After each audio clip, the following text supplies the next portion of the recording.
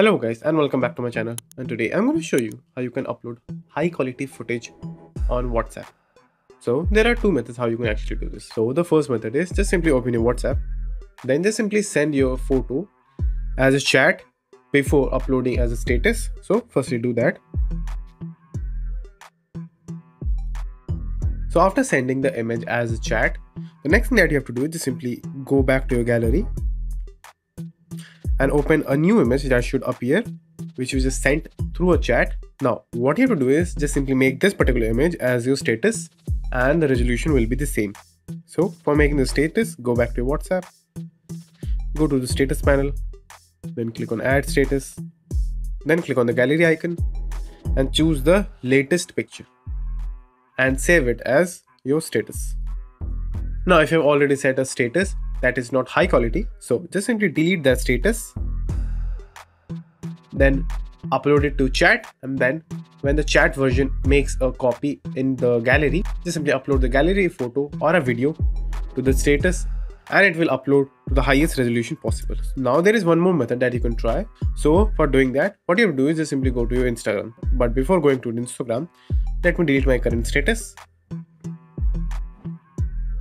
now the second method that is to simply go to Instagram, then click on your profile at the bottom right corner, then click on the hamburger icon at the top right corner, then go to settings, then go to privacy, then go to story.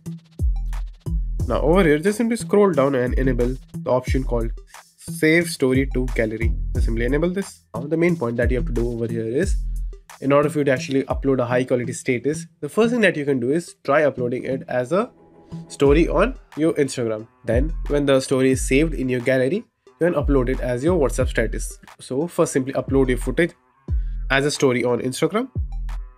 So just simply upload your story, then go to the gallery icon, then choose your image. Now just simply upload the image. Now after you have uploaded your story, just simply go back to your gallery and see whether a copy has been made or not.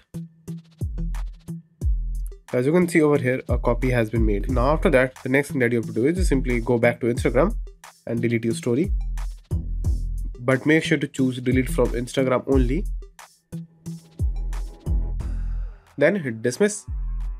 Now go back to your gallery. Now choose the latest image and then upload this as your WhatsApp status.